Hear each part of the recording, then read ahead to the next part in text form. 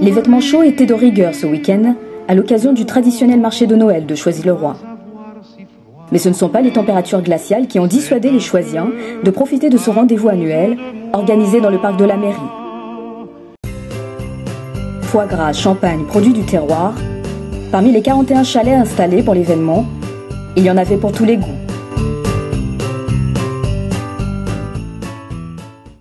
Nous sommes viticulteurs dans le Beaujolais, donc nous venons depuis 5 ans je crois euh, au marché de Noël à Choisy pour vendre nos vins, donc euh, des crus du Beaujolais. Nous avons un fichier client sur Choisy et ça nous permet bah, de rencontrer nos clients et puis de faire connaître nos produits, hein, notamment bah, le Chéna, le Fleury et le Moulin à Vent qui sont des crus du Beaujolais, donc des vins de garde qu'on peut garder plusieurs années. Je suis monsieur Olivier et je fais partie de la ferme Saint-Pic et nous faisons du foie gras de ferme dans les Landes. Ça fait plusieurs années que nous faisons Choisir le Roi et en fin de compte, euh, on, a réussi à fidéliser les gens. Et puis les gens sont satisfaits de nos produits. Voilà. Plaisir gustatif, mais pas seulement.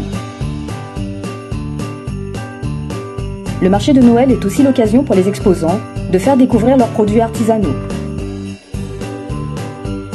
De quoi se faire plaisir, mais aussi donner des idées cadeaux.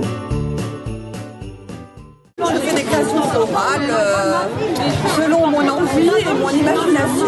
Il y a un grand classique hein, qui est euh, le poinsettia, la fleur de Noël, ou alors les tilancias, qui sont des plantes euh, sans racines.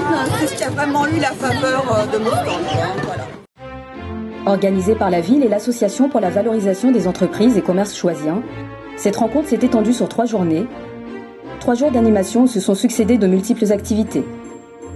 Patinoire, manège, ateliers proposés par le service municipal de l'enfance, train sillonnant la ville.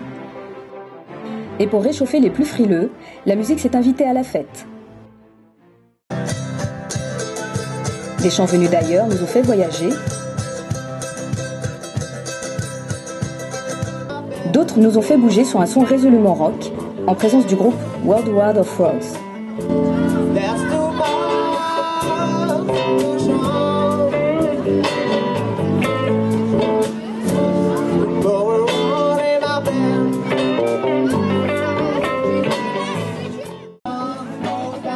Mais à choisi, pas question de perdre le nord avec nos amis les manchots. Une ambiance unique qui nous donne déjà envie de se retrouver, même lieu, même heure, l'année prochaine.